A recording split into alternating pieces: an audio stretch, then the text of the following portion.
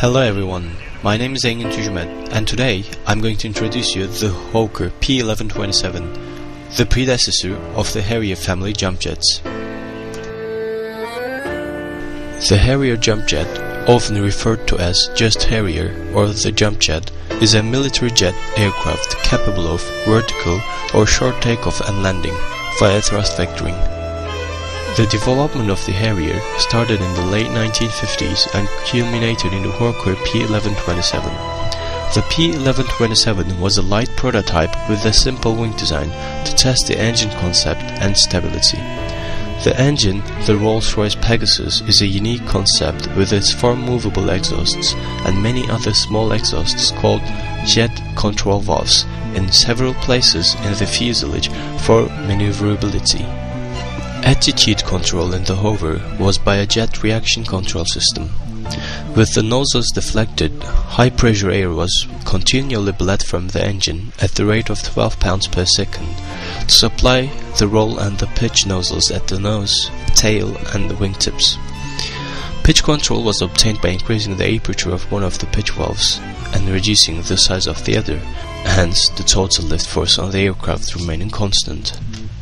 The Pegasus Vector Thrust Turbofan is a two-shaft design featuring three low-pressure and eight high-pressure compressor stages driven by two low-pressure and two high-pressure turbine stages respectively. The combustor is annular and features vaporizers.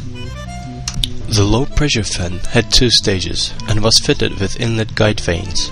It supplied the front nozzle efflux and the 8-stage high-pressure compressor. A most important feature was that the high pressure and low pressure components of the engine contra-rotated to remove gyroscopic couples.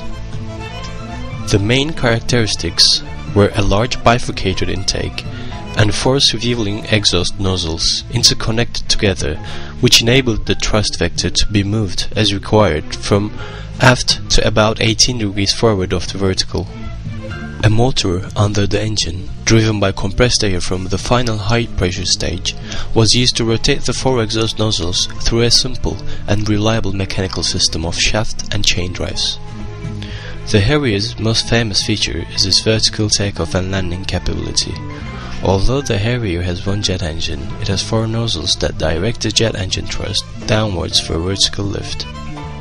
Once airborne, the nozzles are slowly revolved so that the plane moves forward. And now let's go to the science regime to see the actual P1127. Six prototypes were built in total, one of which was lost at an air display, and this one you see here is one of those five survivors. This is the front part of our plane, and this is where the air intake is. It is necessary to ensure that the wing-mounted stabilizer struts contact the runway simultaneously. Bounce or tilt to one side can result if this is not achieved. That's pretty much it.